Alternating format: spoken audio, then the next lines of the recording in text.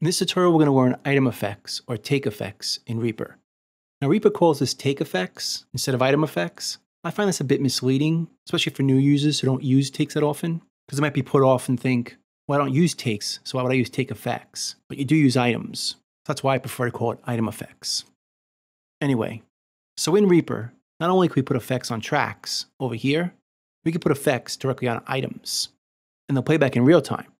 So we don't have to process them so it makes it very flexible to work with items and effects on items in Reaper. So I have a project in front of me here. Let me play a few.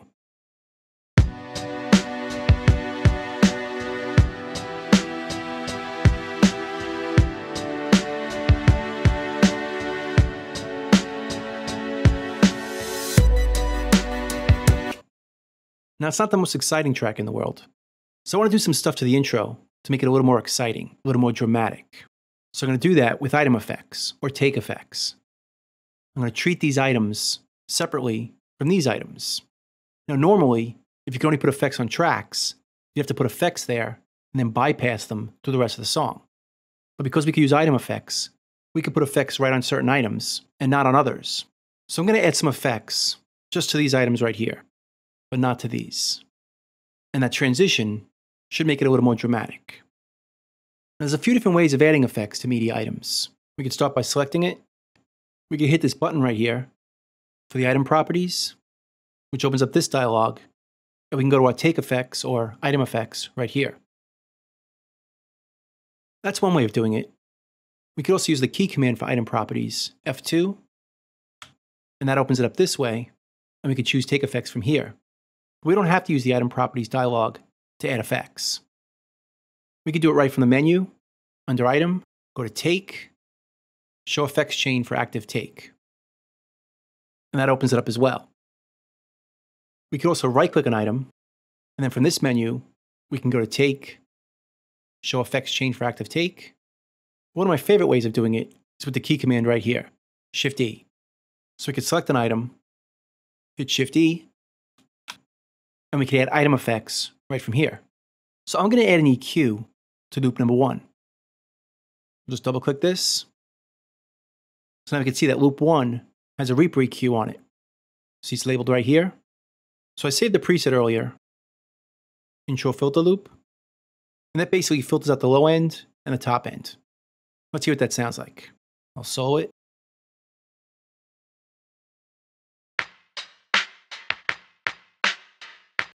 Here's what it sounds like bypassed. And here's what it sounds like on.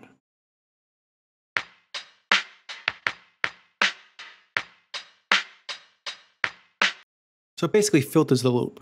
Now let's close this, unsolo it. So now once again, we could see that this item has an effect on it, Reaper EQ.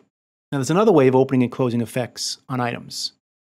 And I kind of like this way. Let me show you. Go to Preferences. We'll choose underneath Appearance, Media, and we go to the media item buttons. If we choose effects right here and close it, a little button appears in our item right here. It says effects. So we can just click this button and it opens up the effect for that item. Now, one of the reasons I like this, instead of using the menu or even doing the key command, is that we don't have to actually select this item to open it. We don't have to select it, then go to a menu item or use a key command so if there are other items already selected, like this, and we don't want to deselect them, just to open this effect, we can just hit this button and it opens right up. No need to select it. So that's why I kind of like using the effects button. So now another thing I might want to do is rename the effect. Right now it says Reaper EQ. That's not really very helpful. It doesn't actually tell us what the EQ is doing. So if we open this back up and right click this, we could rename the effects instance right here. Now this doesn't rename the plugin for the entire project, just for this instance. So I'm going to rename this filter EQ. So now that name shows up in our item. It's a little more descriptive. And again, you notice the effect is on this item, but not in this item. So if I solo from here, you'll hear the loop filtered and then become unfiltered over here. Because there's no effect on this item. So let's add an effect to the strings as well. But instead of doing it from here, I'm going to copy the same effect to the strings. So I'm going to open this one here. And then rather than starting all over, I'm going to grab it and I'm going to drop it onto the strings. See how the cursor changes? Showing that I'm going to add this effect to another item. So I'll drop it. Now the strings have the effect as well. So now I'll close it. And let's hear the strings soloed.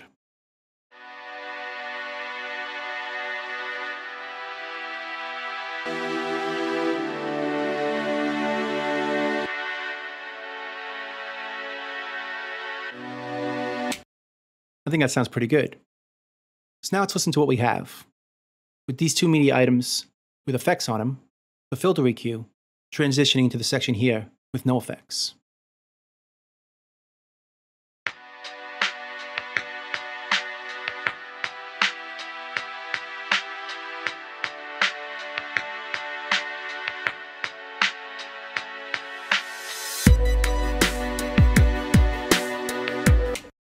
Think that's a little bit more interesting. Now, another thing I really like about using this feature is we can make transitions from effects to no effects, or from different type of effects by using crossfades. Let me give you an example. On the string, I'm going to split it right here, hit S. Now you see both items have effects on them. So I'm going to turn the effect off one of them. I'm going to hold down Alt on the PC or Option on the Mac, and just click the effects button right here, and it goes away. There's no effects on this item now. So again, we'll hear that transition from here to here.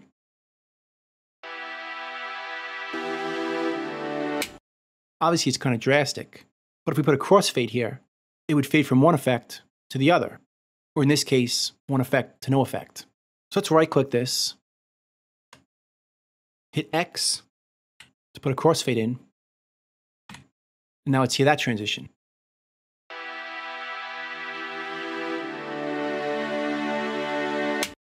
Pretty nice and very interesting. So by using item effects, we could crossfade different effects to make smooth transitions, which is something you can't do with the track effects, at least not very easily. So one of the things I want to do with this crossfade is put it over here, so when all the music comes back in, the strings are actually less filtered. So I'm going to trim this over to here, and the same on this side, to about here. Let's see what that sounds like.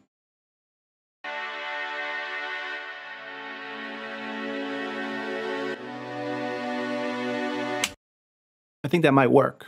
So have our effects on the loop and the strings, and then it's going to crossfade, having no effects on the strings before it comes to here with no effects on the strings. So let's check that out.